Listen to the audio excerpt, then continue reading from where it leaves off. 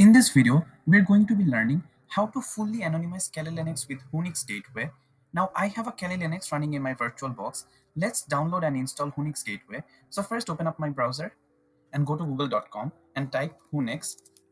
Click on the first link. The URL is whonix.org. So first, let's understand what Whonix is. Whonix comes in two components, or rather I should say two virtual machines, where one is the Whonix Gateway, another is the Whonix Workstation. Whonix Workstation is just like any other operating system like Ubuntu, Kali Linux, or Parrot OS, where the key difference is Whonix Workstation is connected to the Whonix Gateway. Now, what is the Whonix Gateway? Think of Whonix Gateway as just like your default gateway, except when the traffic passes through the Whonix Gateway, it will be connected to the Tor network, which will give you the most anonymity and privacy over the internet. This is one of the best ways to stay anonymous online. In this video, we are going to be connecting the Kali Linux with the Whonix gateway.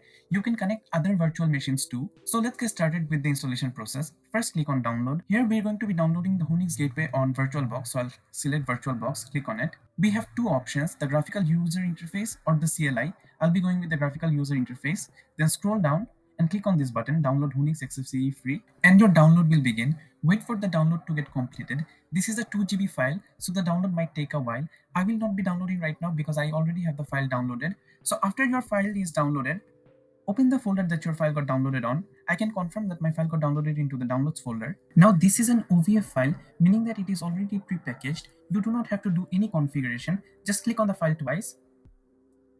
You can make some configuration changes from here but I will not do anything for now. I'll just click on finish and then click on agree, click on agree again, and it will start importing two virtual machines. Wait for the virtual machines to get imported. I can see two virtual machines just got imported. One is the Whonix gateway, another is the Whonix workstation.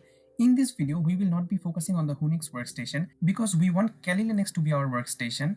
If you want to know more about the Whonix workstation, please check out my previous video in the link in the description box. So I'll remove this Whonix workstation by right clicking and clicking on remove, click on delete all files and it will be deleted. Next, let's start the Whonix gateway so that our Kali Linux traffic passes through this Whonix gateway. So select the Whonix gateway and click on start, press enter, click on understood and then click on next, click on understood and then click on next. Finally, click on finish. Here, select connect, which will connect to the Tor network and then click on next. This is the summary. You do not have to do anything here. Just click on next. And now it's getting connected to the Tor network. Wait for it. Click on finish. Finally, our Whonix gateway has started. We just have to connect Kali Linux to this gateway so that when our traffic passes through this gateway, it is connected to the Tor network. Before that, open your terminal here and type ifconfig and I can see two interfaces. One is the ETH0, another is the ETH1. We have to take note of this ETH1 interface I can see the IPv4 of this interface is 10.152.152.10 and the subnet mask is 255.255.1920. Now that we are done taking note of this, let's connect the Kali Linux to this gateway. I will open the VirtualBox Manager, select Kali Linux and first click on Settings, click on Network, make sure it is attached to Internal Network and from the drop down of name, select Whonix and then click on OK and then start your Kali Linux. After our Kali Linux has started, I can see that I'm not able to get connected to the internet. What we have to do right now is assign an IP address to this Kali Linux and make the default gateway the IP address of the Whonix gateway so that our traffic can pass through the Whonix gateway. So first, right click here and then click on edit connections, select wired connection 1 and then click on the settings icon. Next, click on the IPv4 settings, change the method from automatic DHCP to manual Next, under addresses, click on add. Let me put it side by side so that I can understand better. Okay, now we have to assign the IP address of the Kali Linux based on the IP address of the Whonix gateway. So I can see the IP address is 10.152.152.10. So I'll assign the IP address of my Kali Linux 10.152.152.11. The net mask should be the same as the net mask of the Whonix gateway, which is 255.255.1920. So I'll type here 255.255.